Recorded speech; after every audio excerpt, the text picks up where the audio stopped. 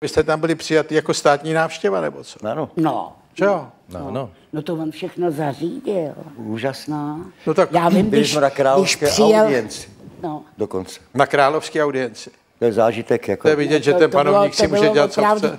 Krásný. Když on přijel sem, tak já jsem byla na chalupě.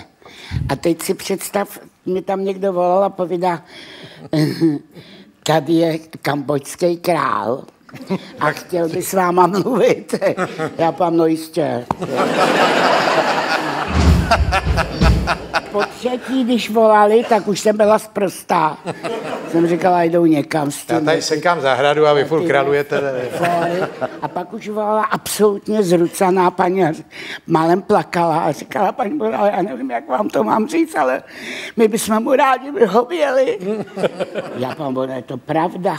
Tak jo, tak teda jsem přijela do Prahy, to jsem byla ještě v divadle na Vinohradech.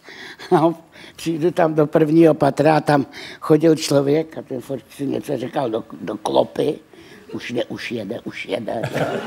Takovýhle. No to já jsem nebyla zvyklá. A teď ale on přijel tam, oni ho nech, oni mu nemůžou takhle koukat do očí. Oni lezou po zemi. Ano. Jo, to jako, To jsem já chtěl původně doma u nás to No.